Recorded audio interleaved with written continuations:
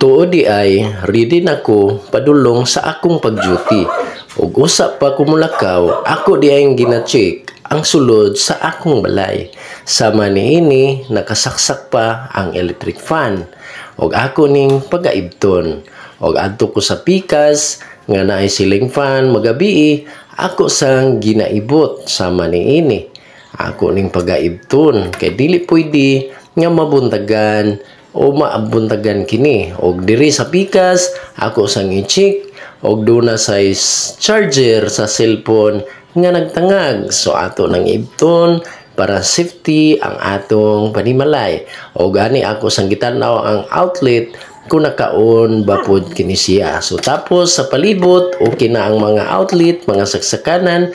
Ari na sa alaga na kong aso nga diin ako sang pagabutangan og tubig kay naa siya sa gawas init kaayo so dapat na sa siya mainom nga tubig kay uhaw kaayo ay luoy kaayo so kay okay na ako nang nabutangan og tubig akong gina-check ang palibot okay na. So ang pagkaon sa akong alaga okay na sad o karon ready na nga mo gawas. O kini nga video paalala lang sa ato nga tanan. Og daghang salamat sa inyong pagtan-aw.